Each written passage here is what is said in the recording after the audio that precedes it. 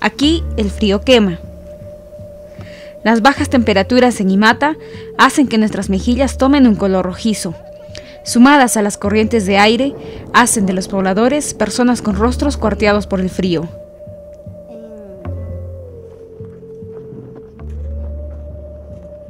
En lo que va de la temporada, se han registrado temperaturas de hasta 15 grados bajo cero. El martes 10 de julio estuvimos a casi 13 grados bajo cero. Tsunami está pronosticado más o menos a 18 grados bajo cero. Es el frío que se, que se va a hacer el más alto, pero va a ser entre mayo a, a septiembre. Por esta época. Sí, por esta época. Esta es la época en donde hace mucho más frío. Que en el resto, sí, junio y julio. Junio y Ya agosto ya vienen la- los vientos, los vientos, los fuertes vientos, ya y empieza a bajar ya.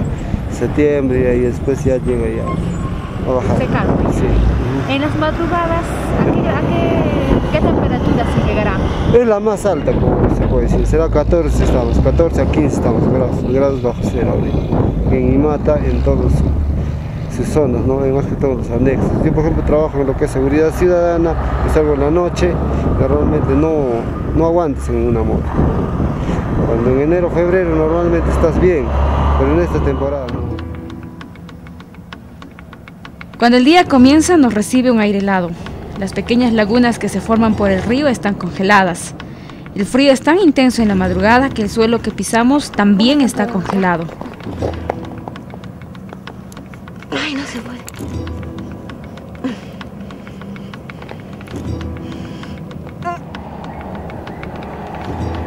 Podemos ver las botellas y algunos restos de basura en las calles cubiertos por una capa blanca que no es otra cosa más que hielo. La hora avanza, son casi las 8 de la mañana y apreciamos que el pasto y las piedras siguen cubiertos de hielo. En la mañanita hace frío, pero ahora ya está poco, ya está calentando. En la mañanita el agua se hiela. Sí, en la mañana te la, pero no aguantas ni, ni- hasta los zapatos se pasan frío hasta el barrio cuando te cuando madrugas a un otro sitio Ajá, a ver a sus vecinos así.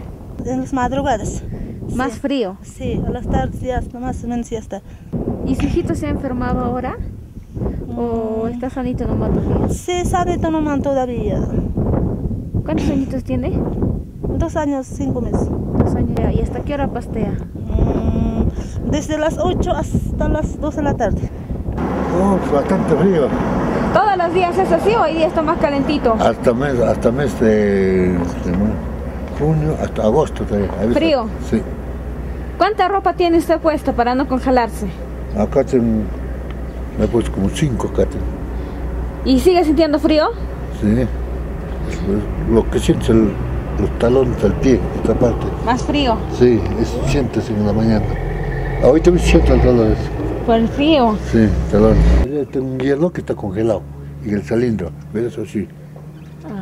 Allá en el cilindro está congelado total.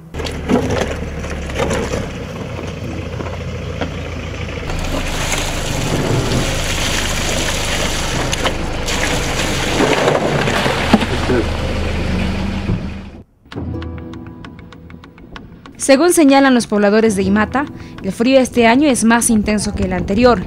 El invierno recién comienza y amenaza con ponerse aún más crudo.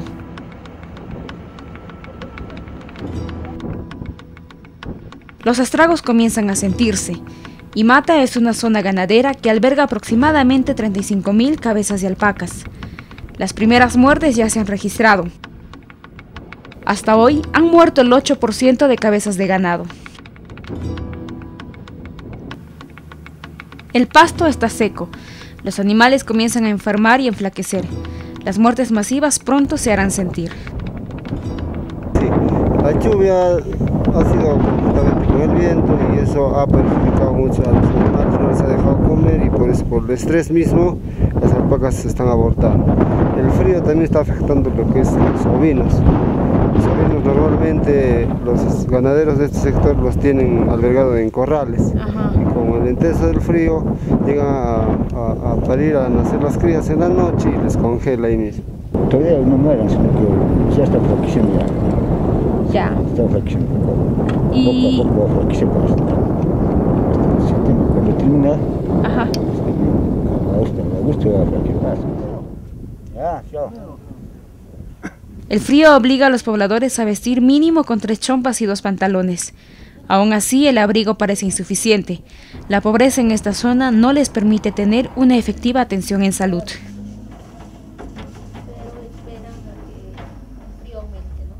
No, en Colca yo vivo. Ah, desde Colca se viene Sí. hasta acá a atenderse. Sí.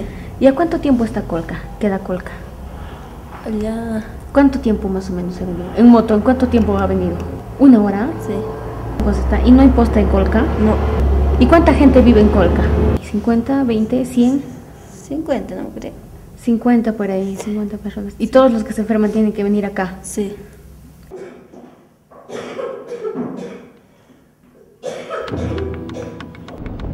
Los niños son los más perjudicados. El ingreso a los colegios ha sido retrasado hasta las 8 y 50 de la mañana para proteger a los estudiantes del único centro educativo, el José Antonio Encinas Franco de Imata. La precaución parece insuficiente. Algunos tienen que caminar 30 minutos para llegar a tiempo, otros lo hacen por dos largas horas.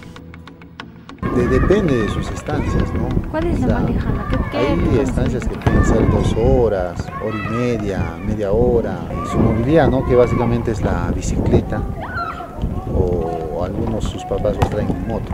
Cuando se van generalmente es su bicicleta.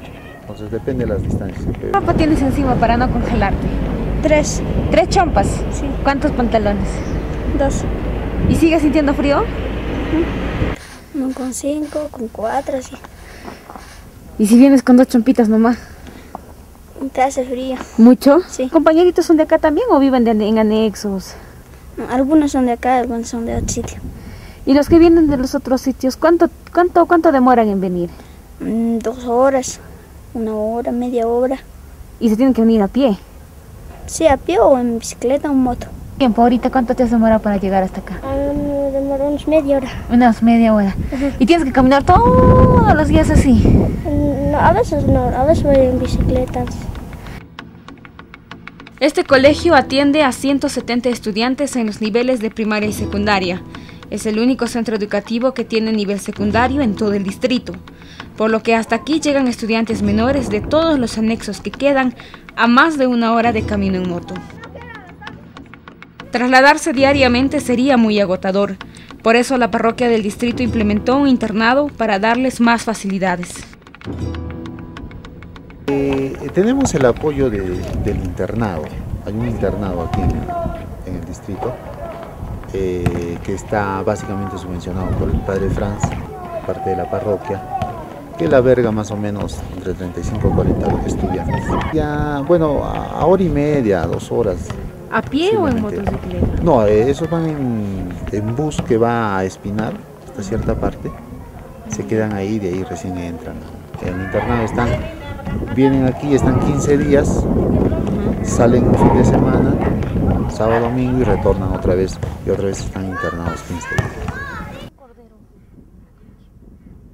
Hemos pasado unas 5 horas en este alejado distrito.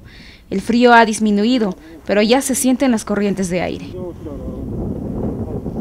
Son aproximadamente las 10 y 30 de la mañana. El frío ha descendido, pero comienza a sentirse ya un poco de viento. En horas de la tarde el viento va a ser mucho más fuerte. La rutina en Imata y sus anexos está cubierta de hielo. Aun cuando se acerca el mediodía y el sol trata de hacerse notar, se pueden apreciar los restos de hielo en las aguas que los pobladores almacenan. Aquí no hace falta un refrigerador, lo tienen al natural, tan natural que resulta peligroso. Las madrugadas son heladísimas, las mañanas están acompañadas de un sol que no calienta y las tardes son amenizadas por el silbido de los vientos. Así se vive en Imata. ¿Se atrevería usted a venir hasta este pueblo olvidado en pleno invierno?